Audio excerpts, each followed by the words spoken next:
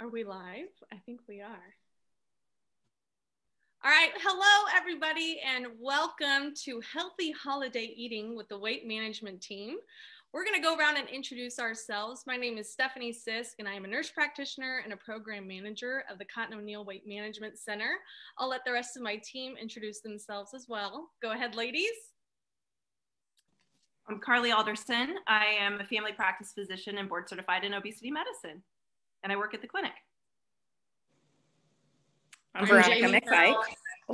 Oh. Go ahead, Jamie. Okay. I'm Jamie Fowles. I'm one of the nurse practitioners with the weight management program as well.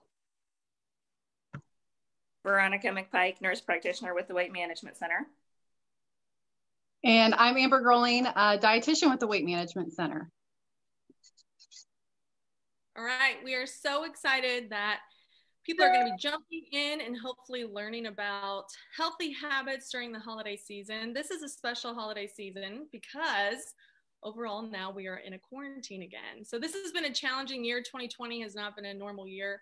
Um, at Weight Management Center, we've seen a lot of the quarantine 15, which if you're not familiar with that, it's the 15 pounds that you gain with quarantine, which I think all of us can relate to um, just kind of the uncertainty with everything that's been going on in the world. And now we are in our holiday season, which is already challenging to stick to our healthy habits. So we're hopefully going to go through here with some healthy tips that are helpful to you. We have our three top tips that we're going to share with you. Um, and then at the very end, we're going to go over the most unhealthy food and the healthiest food to eat um, for the holidays. So we will share with share that with you. I have my my handy jingle bells. When anyone makes a good tip, I'm gonna ring that jingle bell. Everybody is aware we're not gonna miss it, right, ladies? All right. So starting out, first I want to make a point that with the holiday season, studies actually show us that we gain approximately three pounds during the holiday season. And while it doesn't seem like a whole lot, studies also show us that you don't lose that weight during the rest of the year. So you can imagine over a couple years, three years, four years, five years, that can be kind of taxing on your body. So we're hoping here just maintain. We're going to give you some tips. So tip number one. Tip number one is celebrate the holiday, not the holiday month, right? Who here is guilty of maybe doing a little bit of celebrating all month long for the month of November and December. Anybody else guilty of that? Yeah, I would say I'm guilty. Uh, dietitian confessions. Um, you know, there's all the extra parties. I mean, I think that'll be rained down a little bit this year for us, just with the, you know, just trying to be safe and social distance. But I think this year we'll add that, you know, that stress eating and just, I, am a holiday baker, so um, I tend to eat a little bit more. But my tip for that is I try to work really hard during the day to allow myself like a treat, um, or I work out extra to make up for some of my holiday holiday month eating. I think it's hard because there's just so much more junk food around. And I, I don't know about anybody else, but I think around it starts getting colder out.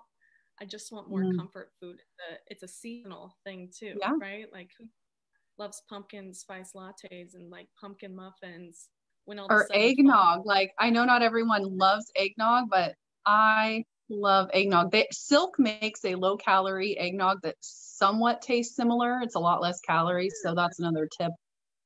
Works good as a coffee creamer too. Ah, I like that idea like it. actually. well, good. another. Yeah, go ahead, Carly. I think it's really important to prep some healthy foods to just be ready. So fruits and vegetables, I think, are your go-to, especially if you have kids in the house. You know, they're always grazing, and when they're home from school, they're just looking for you know something to eat. So I think a lot of times you eat a lot of calorie dense foods when you're holiday eating, and so you're actually not getting tons of portion. I mean, you know, it's a little tiny thing. So if you can fill up on fruits and vegetables, it will also help you to feel full, but also have some treats. Hey, Amber, how many servings of vegetables and fruits do you think everybody should be getting every day? We should be getting three cups of veggies and one to two cups of fruit every day. Woo, that's something to remember. Yay! So especially through the holiday season, right? Definitely. I love that tip. Cookies you're going to be going to a party or a get together, which again, I know that's debatable if that's going to be happening, but um, you should still be doing three veggies and one to two fruits a day, right? And we should still be teaching that to our kids. Are there any vegetables that you guys try to limit or is everything free game? Limit based on taste preferences or for health reasons? Health. You know, starchy vegetables versus green veggies, or is everything all the same? I know I try to get, I know just in personal, right? Like I try to limit squash and corn mm-hmm. and some of those vegetables because they tend to be higher in carbohydrates, right? Yeah, and you know, sorry, I didn't mean to interrupt you. I was just gonna say one ho- holiday food that a lot of people tend to think is healthier is sweet potatoes. Um, and and that's not that they're unhealthy, but they are higher in carbohydrates, so those should still be limited, especially if you're going to doctor them up with like brown sugar and marshmallows and all of that jazz. So um, just keep in mind that sweet potatoes and potatoes are both a little bit starchier. The other thing to think about too with veggies is, especially during the holidays, like there's a lot of the cream corn or the green bean casserole and green beans are normally a good a good portion of vegetables to have but when you have all the casserole type stuff doctored up and like like amber was saying doctoring up the sweet potatoes and stuff just be careful of the added stuff that's in there because it's not necessarily just your veggies anymore. What if so there was a question from somebody what if you don't like vegetables? Which we get this a lot at the clinic is sometimes people don't like vegetables, right? They didn't grow up eating them, they don't love them. Um, I wish we all loved them, but that's not the case, right? So, what is a good alternative if you don't like vegetables? What do you guys usually recommend? Well, I think when you're looking at you know the lesser of two evils, I mean, fruit has kind of been vilified as having so many carbs, and you know we'll have people come in the clinic saying, "I can't eat fruit, so I go eat chips and salsa." And you know, honestly, eat the fruit because it's eating the fruit or eating, you know, the donut or, or whatever's at, you know, another appetizer. So, you know, you really have to look at those lesser of two evils sometimes. I agree. And it's not, and fruit is not evil. I will put that out there too. Yeah, and I would say just to add, I completely agree. Food fruit is not evil, and with nutrition, it always depends. It's always like I always say, it's compared to what. So if we're comparing fruit to chips, obviously fruit's the better choice. If we're comparing fruit to vegetables, vegetables are just a little lower in calorie. Doesn't mean that one's you know better than the other. It's just you know it's all about kind of balance and moderation. But um, for those that don't like vegetables, keep in mind, you know, you might try preparing them a different way. Roasting can be a really great way, especially this time of year. Um, it naturally caramelizes the vegetable and brings out their natural sugar content.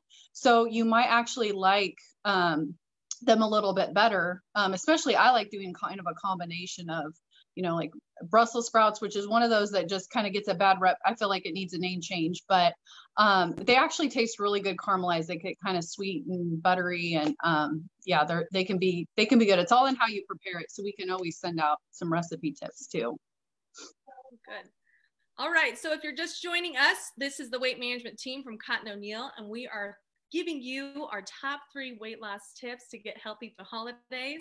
So we are ready for tip number two here we go.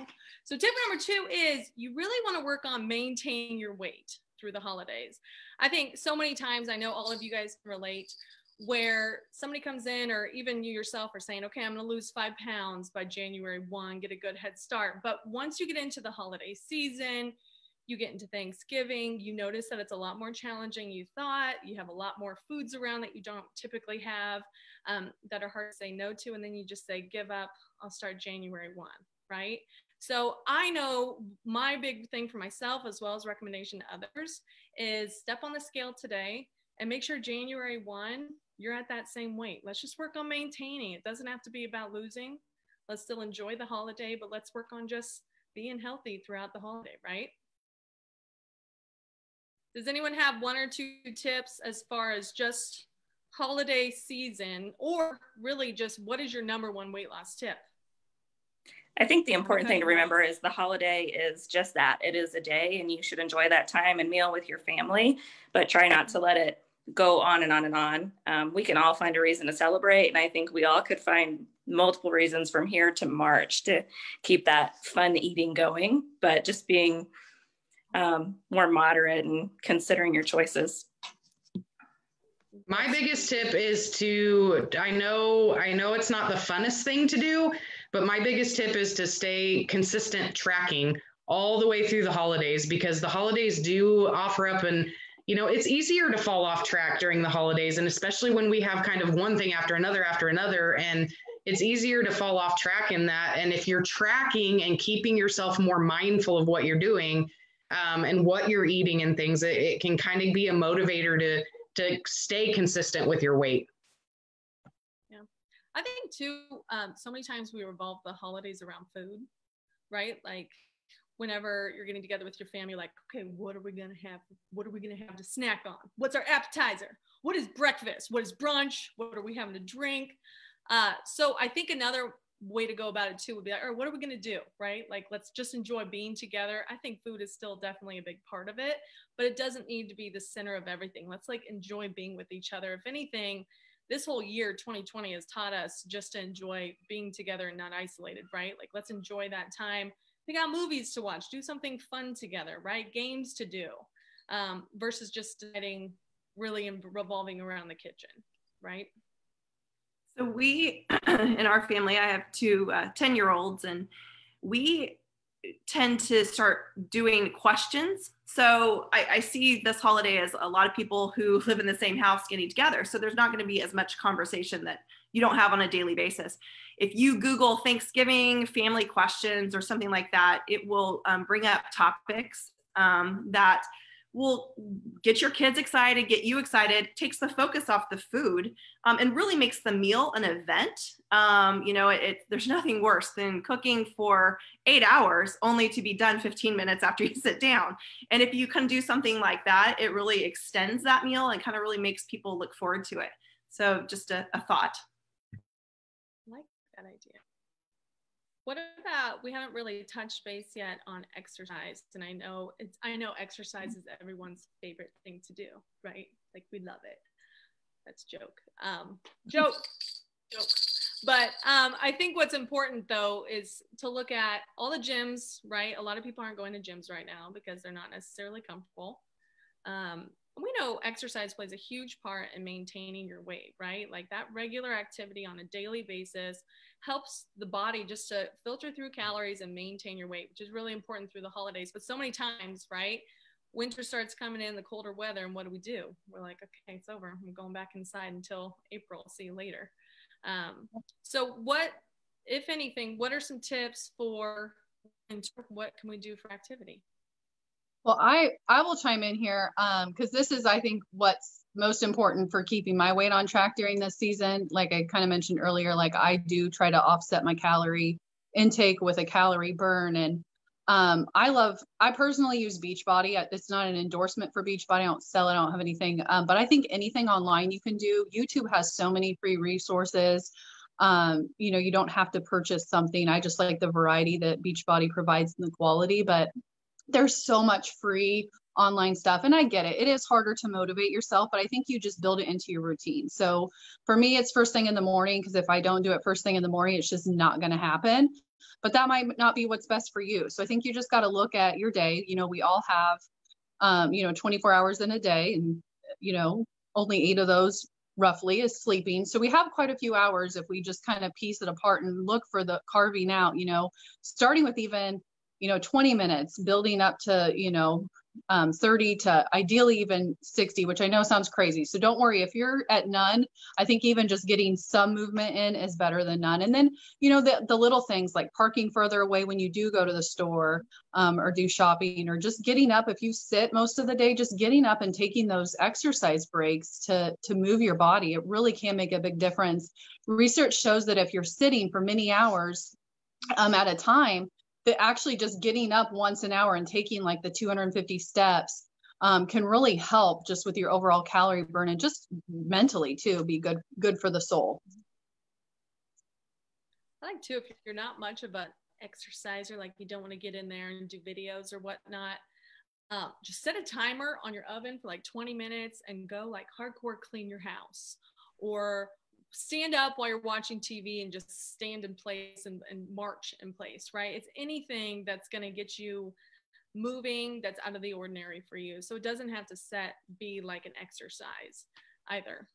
Or even go up and down the stairs in your house a couple times. That's a really good one too. Yeah, definitely. Right now, I find that a lot of people are working remotely. So mm-hmm. setting a timer in a different room to remind yourself to get up because we really get sucked into our work and we struggle to take breaks when we're working from home. Oh, I like that. So the phone goes off in the other room and you have to get up to go get it. You have to. It's a great idea. It's a great idea in the morning. Ring your bell. Ring your bell. That's a good tip. Oh, I thought I was muted. I was like, what are you guys looking at me like that for? Stop. I'm not muted. Woo, that was a good tip. it's also important. Uh, I keep coming back to the kids because I know they're coming home. And I think it's really important that they get some exercise for your sanity and for theirs. Um, so, you know, uh, what is the Wii Nintendo Dance Dance Revolution or whatever that's wow. called? Um, you know, I also think we sit there and, and don't want to go outside when it's cold, but it's okay. I mean, jackets are made very warm anymore. And so if it's not icy and you're safe, you know, get out, get that fresh air. I think it's very reinvigorating. And um, so I, I have no problem getting out and walking. I did want to throw out there also it's it's not only good for weight loss exercise wise with all the quarantine and the covid things and everybody kind of staying apart and staying away from each other stress and anxiety and, and mental health has just been kind of out of whack and people have just been dealing with a lot of stress and depression and, and just getting in a little bit of exercise every day can help with that too so not only can it help with your weight loss but it can help with mental health and emotional health and just feeling more energy and just feeling better in general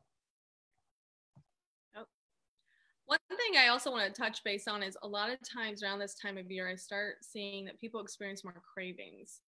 Um, and uh, again, I, I, think it's especially because we start eating sweet and there's food that's specific to this season. So, um, you know, as far as cravings go, I know one of the, the best tips that we really give at our clinic is it's all about protein, right? Especially in the morning. If you can start your morning off with a protein shake or eggs, something Greek yogurt, it can actually help with cravings later in the day, which is absolutely crucial um, especially if you're a late night. I know for most people, it's after dinner that you have those cravings. It's not necessarily all throughout the day. It's when we get home, we're relaxing, we start to have those cravings.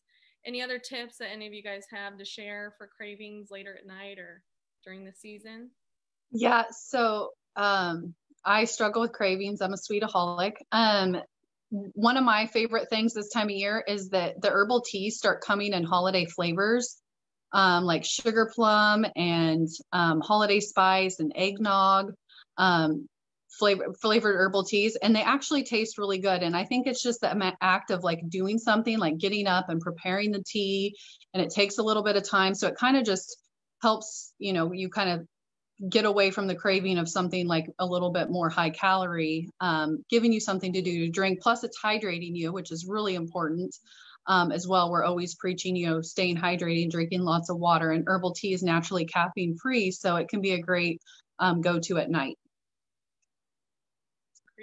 I think another, um, I'll jump in again on this.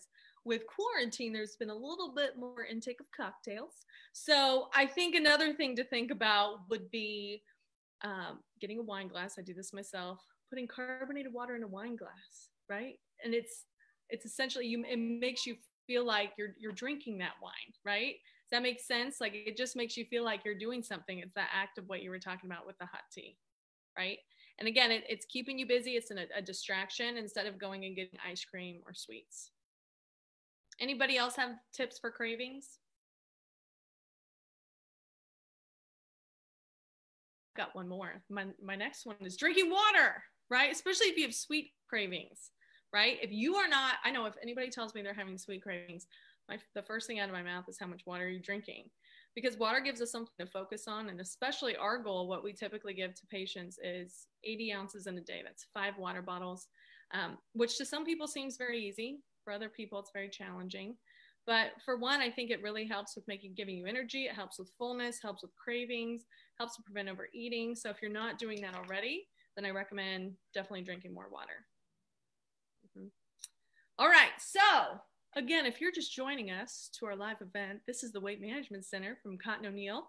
We are sharing our healthy tips for the holidays. We have three tips for you. One, celebrate the holiday and not the hell month. Tip number two, maintaining your weight throughout the holidays. Weigh yourself today. Make sure January 1 your weight on January 1. You maintain, you don't set an expectation to lose. Enjoy yourself, but maintain your weight. And now, tip number three find a balance, everything in moderation, right? It's not about just eliminating all carbs, it's not about eliminating all desserts, right? We don't have to be all or nothing. And I feel like a lot of people struggle with the the mentality that you either have to be completely on a diet or have to be completely off it, right? Does anybody else experience that or see that with our patients? I definitely um, experience that myself, um, but also you have a lot of patients with with you know struggles with that. My mother-in-law is a dietitian and diabetic educator, and she has some great advice. Um, her biggest one, and I was talking to her this morning, so thank you for your advice. But she um, tells patients, you know, what's that one thing that you love on a Thanksgiving meal? And that you want to have that. You want to enjoy it. And then the things that you maybe don't love as much or feel like, oh, someone took a lot of time preparing it, I need to eat it.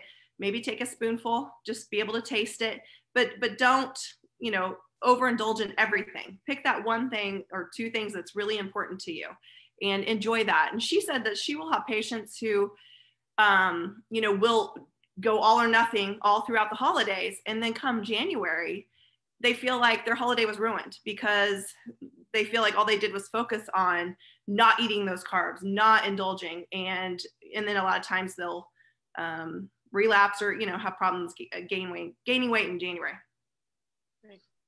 I think that's true. And again, it, it comes back to that maintaining during that month and not setting that expectation of, okay, I'm going to lose 20 pounds, so I'm just not going to eat anything. I mean, that's pretty miserable. Our goal here mm-hmm. is everything in moderation. We have to learn to incorporate these foods into our life. They come every year, and we look forward to it. Right? It's not about saying that we shouldn't be eating those. We look forward to them. They bring us back to our childhood and all the good, fuzzy memories, right? It's just all about moderation.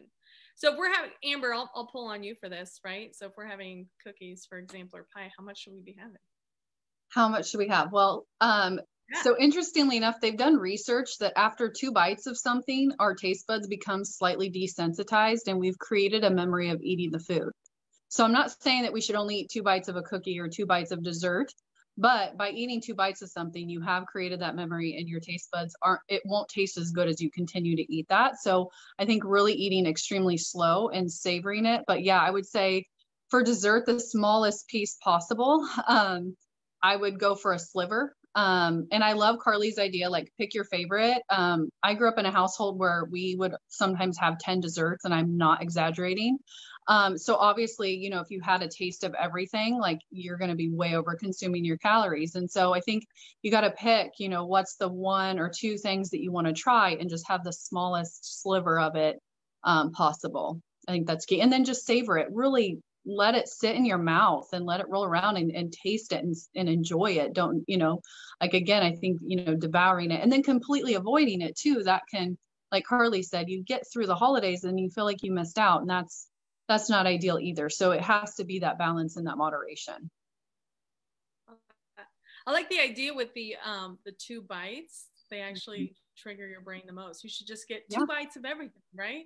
Maybe yeah. That, you can trick yourself. Unless you have 10 less. desserts like my family serves, then don't do oh, two yeah, plates of everything. That gets a jingle. That was a good tip. you know what? Another tip I think to think about is pick the slowest eater at the table. Mm-hmm. And my um, most of my family meals, it was my grandfather, and he took an hour to eat a piece of pie. You should eat with that person. You should totally view yourself eating with that person. You're half done by that time. The, the person's halfway done.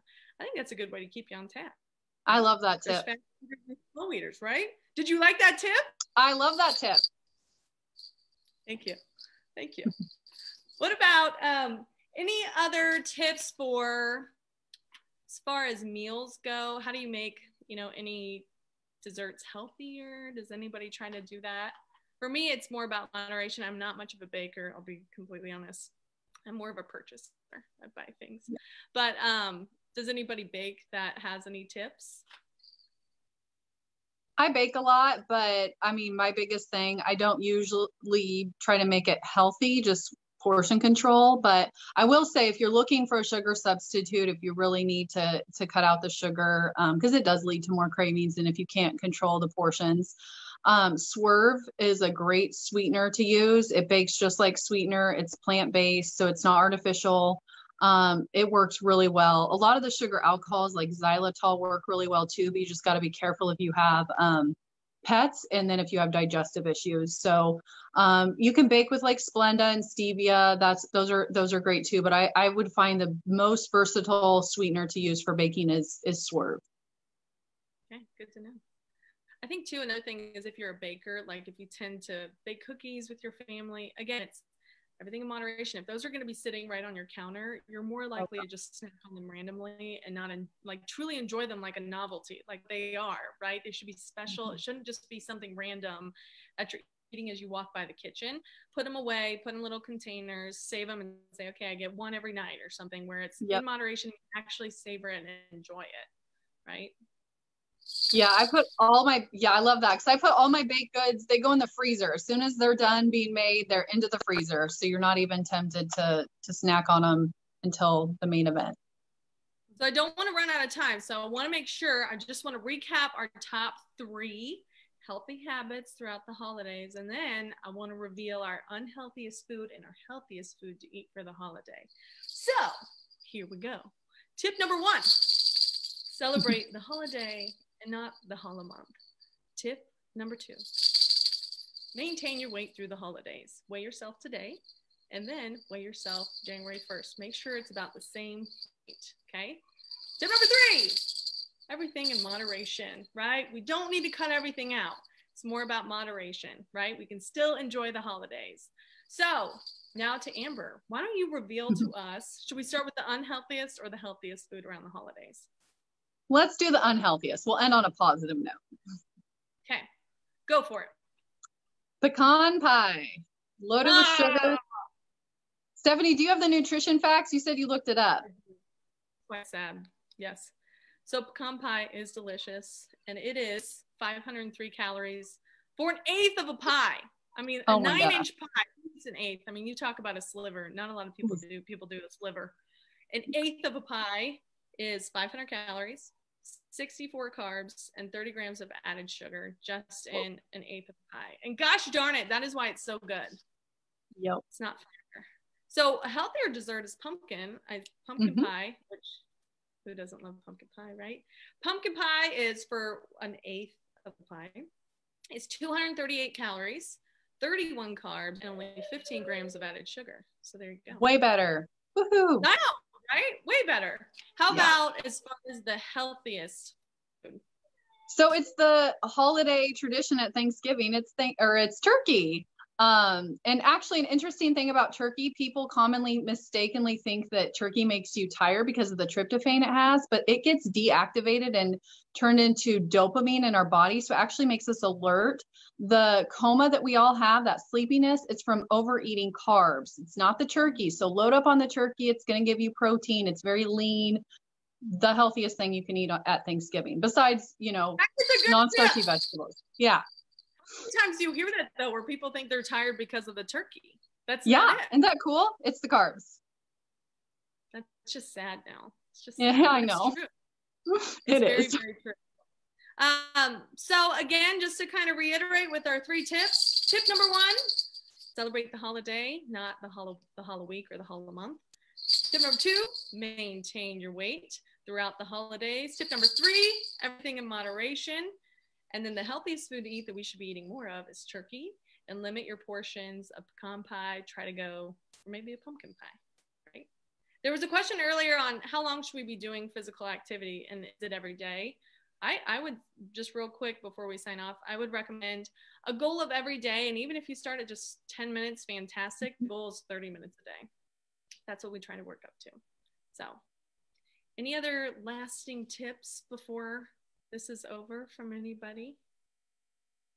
Recap? No? I know, again, something to remember drink plenty of water, 80 ounces a day. Remember, the first two bites make you the most alert, mm-hmm. they make your brain happy.